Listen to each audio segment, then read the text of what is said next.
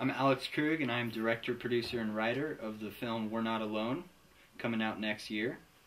Featuring Alex Shepard, Megan Shaw, Josh Atterbury, Michael Contreras, Tyler Gallagher, Shelby Vicino, Lynn Boyd, Ian Krug, Troy McCrimmon, Chase Tressler, Dakota Senna, Scott Russell, and last but certainly not least, myself.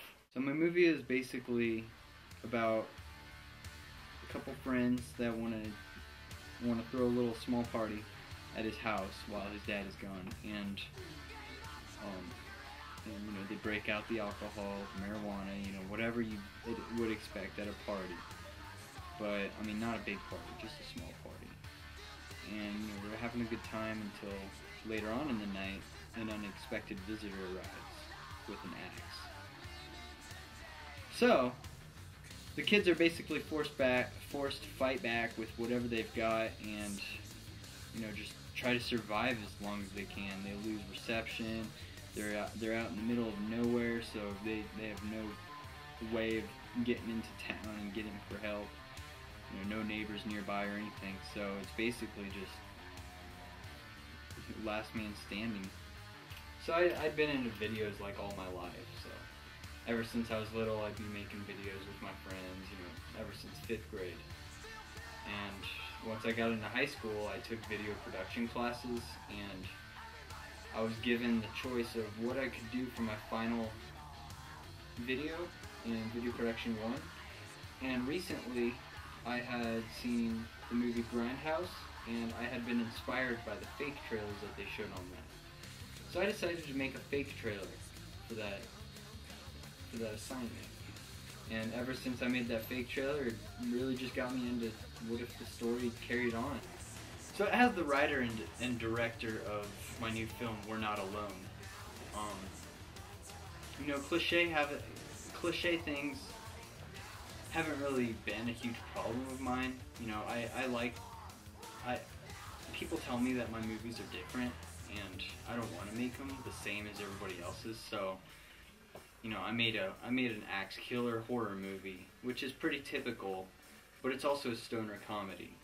So I feel like the stoner comedy part of it kind of brings it away from the the horror aspect, and it'll give you some laughs, and it'll also horrify you when there is a death.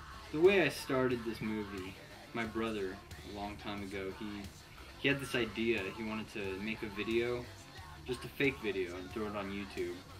But it would be a video of just a couple of people and they, they get a video camera and their brother is drunk so they go and videotape him being funny or whatever.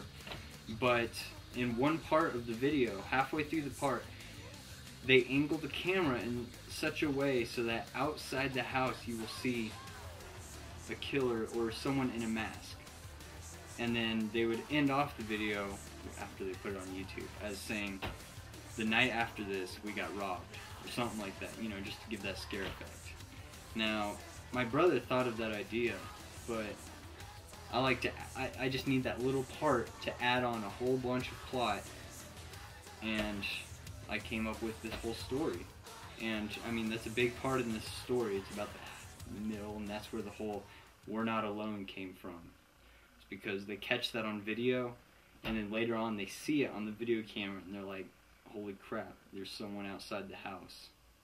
When you watch a horror movie, typically the the victims of the killer or the monsters or whatever it is, they usually don't have a fighting back chance, you know. So for my movie, I decided, you know, I, I have all these martial art weapons, so what what could I do to put those in the movie? Well, hell, I'll just I'll just give them to the give them to the victims, and they can fight back against the psycho. They can take matters into their own hands, and instead of running scared and crap, they can actually fight back.